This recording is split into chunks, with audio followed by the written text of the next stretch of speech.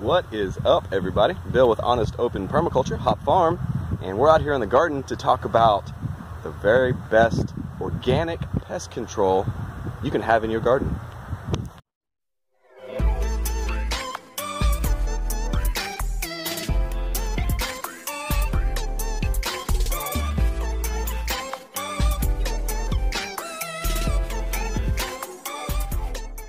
So, we're going to be talking about the very best pest control you can have in your garden. See this market garden, CSA garden that I have behind me, uh, we're having quite a bit of pest problems right now. And I'm doing multiple things. Sorry, the camera's shaking here. I'm doing multiple things to help with the pests. Um, I took a sh couple short videos of the type of pest we have. Uh, let me throw those in here right now. Here we have an aphid. It's hard to see. It's hard to zoom in on. Let's see if we can get this camera to focus a little bit. It's right in the middle there. It's a little aphid. Smash him. Smashed. Oh, Hop Farm smash. Here's a, a cabbage worm. A little green guy down there. So what we do to these guys is we smash them. So we do all the bugs out here. So the pest I'm dealing with right now is aphids, cabbage worm, a little green worm, and spider mites is what I'm dealing with. Um, how do I, how am I controlling them? What is the best way to control them? Well, I'm going to go ahead and tell you right off bat what the best way is. The best pest control in the garden is you and me.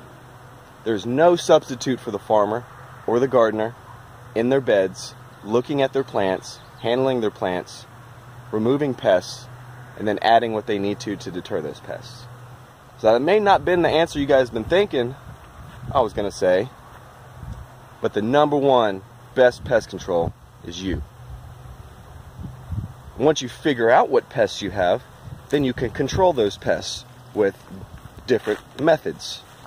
I use a couple different methods out here to try to deter pests. Um, I have made a video in the past about planting onions to help deter moles. And ever since I planted those onions, I have not had any moles. So far, so good. Let me show you real quick. here's a bed of uh, broccoli, cabbage, and kale. And around the outside of the bed, there is these onions right here. And I put them all around the outside, kind of like an onion wall to hold back the moles. So far, no mole pressure in, in these beds. So we've also had cabbage worm. As you can tell in this cabbage here, it's got holes. And they will come on the back side of the leaf and eat the leaf. So what am I doing for cabbage worm and also spider mites and also aphids? You can see my plants are dusted. That is an organic material that I'm using on these plants. It's called diatomaceous earth. I'm sure you guys have heard about it. If you haven't, please do some research on it. It is great stuff in the garden. Not only in the garden, it's great stuff for your animals and for you. It'll clean you out, it'll clean your animals out. So now I've heard a couple different reasons on why um, diatomaceous earth works so well on your plants.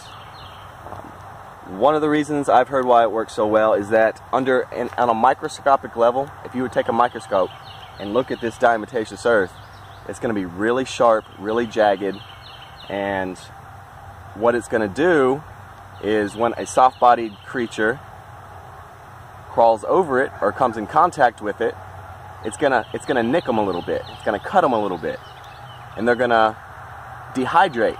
They're gonna start losing fluids and liquids and dehydrate and die. I've also heard that diatomaceous earth also sucks the like the waxy liquid coating on the bugs um, and dries them up that way. So I don't know which way is correct. Maybe both of them are correct. Maybe it hits them both ways and both way work. Um, but that's why I use diatomaceous earth. It's all natural. It's organic. It's a fossilized plant um, that has been crushed down into a powder. Uh, also, make sure you buy the food grade. There's different types of diatomaceous earth. Buy the food grade diatomaceous earth to use on your plants or to use inside yourself or your pigs or your chickens or anything else. There is a, a kind of a, a particular way you want to administer the diatomaceous earth, how you want to put it on your plants. Uh, for instance, I don't want the cabbage worm in my broccoli heads, so I will douse the broccoli heads with the diatomaceous earth. So I did the top of these plants right now. Uh, now I'm going to go back through and do the underside of the plants. That's probably the biggest tip I can give you on spreading diatomaceous earth is it's great to put it on top of the plants, but most of the pests are going to be on the underside of the leaves eating from the bottom up. So if you put it on top, they're going to mess up your plants before they even get to the diatomaceous earth.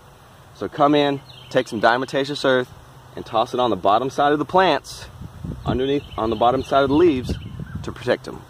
Pest control also starts at the very beginning when you're getting your beds ready on what soil you're going to plant your plants into. If you have a really healthy plant, not deficient in any type of nutrients or water, then the bug's not going to go for that type of plant. They want more of a stressed plant um, to feed on they're gonna they, they, they see in a different spectrum than we do and they can see the plants a little bit different than we do and they can tell which plant is stressed and which plant is not stressed and they're going to go after those stressed plants um, and if so if you have plants that are not stressed and growing like they should be it's going to really cut back on the amount of um, pest pressure and also it's going to help a plant recover if it does get pest pressure it'll recover faster and won't take a biggest hit still produce fruit so what else do I do when the best pest control, me and you, sees pest? Another type of pest. Um, there's, there's, we can bring in beneficials. Besides just killing the pests that are there, we can bring in things like predatory wasps, things like ladybugs. Out here in the potatoes, we have another beneficial putting in work.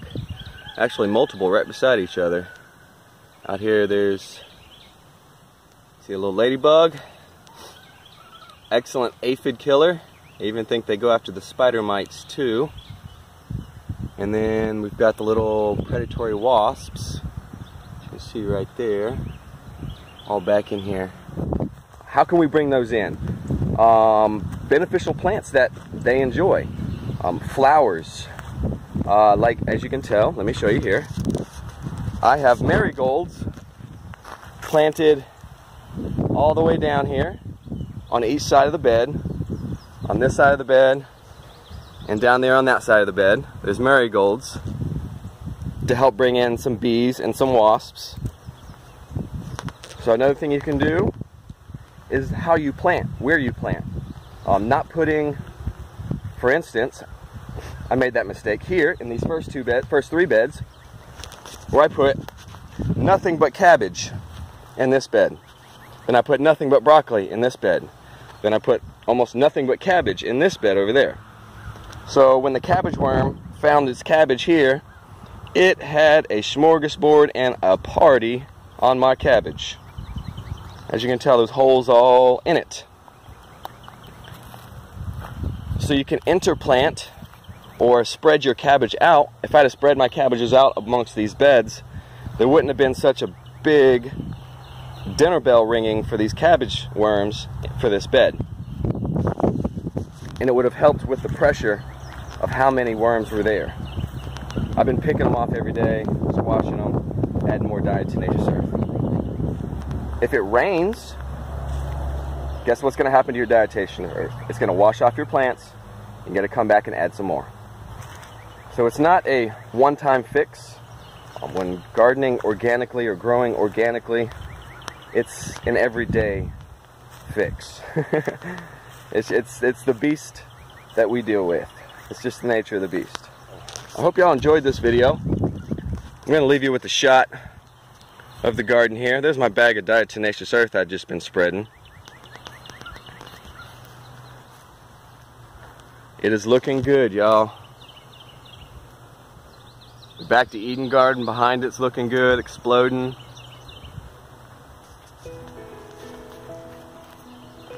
If you are one of my CSA customers, I want to give you a quick shout out and say thank you. This is our first week of delivery. Had my first deliveries yesterday and I've got my second delivery for the week on Saturday. I do have a couple more spots open if you're interested. Go to hopfarmnc.com and you can sign up there. It is free delivery as long as you're in the Triad Greensboro, Winston-Salem area.